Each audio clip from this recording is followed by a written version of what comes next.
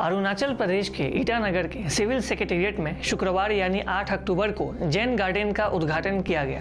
इस जैन गार्डन का उद्घाटन मुख्यमंत्री पेमा खांडू ने किया। उद्घाटन के दौरान राज्य के डिप्टी मुख्यमंत्री चाउना मैन भी मौजूद थे।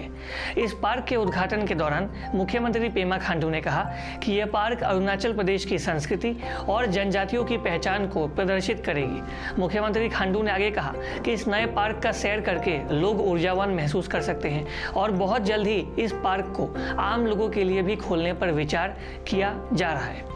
आपको बता दें कि जैन का मतलब होता है मेडिटेशन और शांति, जो बौद्ध धर्म का एक हिस्सा है। जापान की कला संस्कृति में जैन का एक अहम स्थान होता है। अब ईटानगर की ये जैन पार्क इसी सिद्धांत पर बनाई गई है और ऐसी उम्मीदें हैं कि जल्द ही इस जैन पार्क को आम लोगों के लिए भी खोला जाएगा, जहाँ आम लोग आकर सैर कर सकते हैं। तो यहाँ पे आप देखिए एनवायरनमेंट से लेके ट्रीज से लेके, जो इवन जो मेरीन जो स्पीसीज है, उससे लेके सभी चीज़ का एक कॉम्बिनेशन होके इसको डिज़ाइन किया है।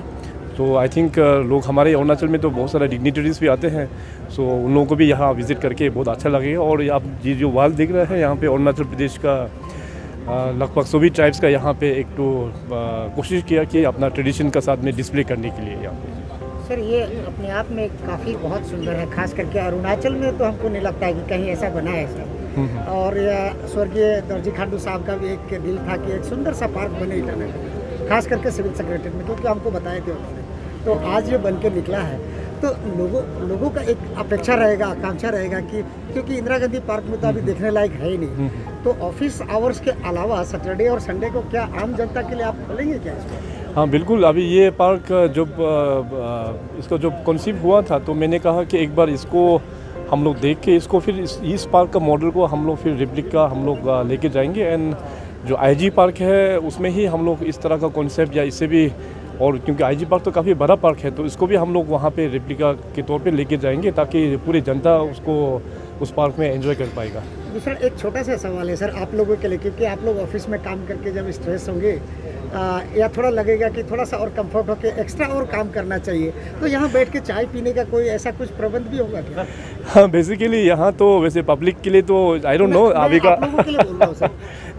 नहीं, ऐसे तो नहीं है कि चाय बैठ के यहाँ पे पीने का प्रबंध, ऐसे तो नहीं है, मगर क्योंकि ये पूरा चारों तरफ़ में अपना सिविल सेक्रेटरीट है तो नेचुरली ऑफ़िस का काम बहुत स्ट्रेसफुल होता है। सिर्फ़ पॉलिटिशियंस ही नहीं, बल्कि यहाँ पे अपने जितने भी जो कर्मचारी है सो कुछ दस पंद्रह मिनट का जो ब्रेक होते हैं तो they can come here and have a walk around so उनका जो एनर्जी लेवल है, वो और भी बढ़ जाएँगे इस यहाँ पे वॉक करने से।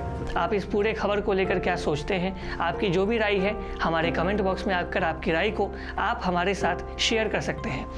अगर अभी तक आपने हमारे फेसबुक यूट्यूब और इंस्टाग्राम पेज को लाइक नहीं किया है तो हम आपसे अपील करते हैं कि आप हमारे तमाम सोशल मीडिया हैंडल्स को फॉलो करें, हमारे पेज को लाइक करें शेयर करें और सब्सक्राइब करें। और अगर आपको हमारी ये न्यूज़ पसंद आई तो इस न्यूज़ को भी आप शेयर करें।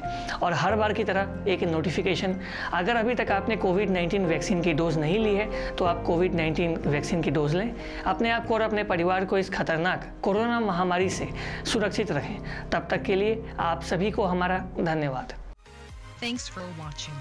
Please subscribe and hit the bell icon.